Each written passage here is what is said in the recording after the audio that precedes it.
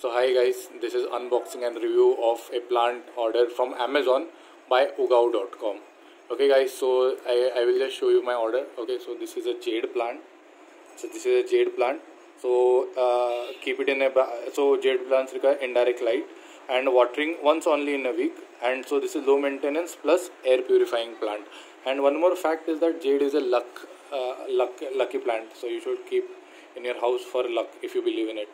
So okay so this in this this pot is a uh, what we say self-watering plant pot and special soil mix for six months slow release of fertilizer. So that's great. Glossy evergreen fleshy yeah okay. They said round leaf. Okay let's open and check it uh, later. Uh, excess water reservoir self-watering mechanism as i said. Okay guys so so this is the from ugaoo.com and i have bought it at for 269 rupees so that was discount but if you go in and saw uh, your nursery that will only cost you uh, i guess um, within 100 rupees. So guys this is the packing by amazon and ugaoo. So this is a beautiful box with air ventilation. So what we have to do is that uh, to open this box first we have to cut the rubber bands. Okay so i, I cut this you have to pull this back. Then made in India great great. So we have to remove the bottom tape. So guys as I said I am removing the sellotape at the bottom so guys removing this and this tree is this is how I got the jade plant.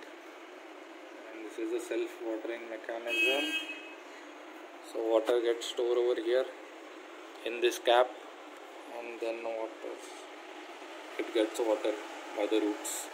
So this is how it came guys. This is the tape and here I can see below the tape is the branding of Ugaoo. Okay guys.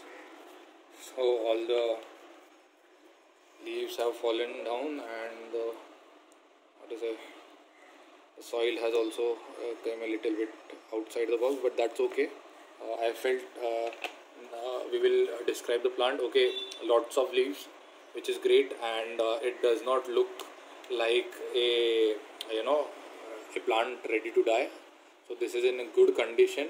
The dust and what you are saying if I remove this whole thing uh, and all those things it will just uh, go to normal. We have to wash the pot once and it will be back to normal and uh, very good good plant good quality. Uh, i liked it from ugaoo.com so thanks guys. Thanks for the review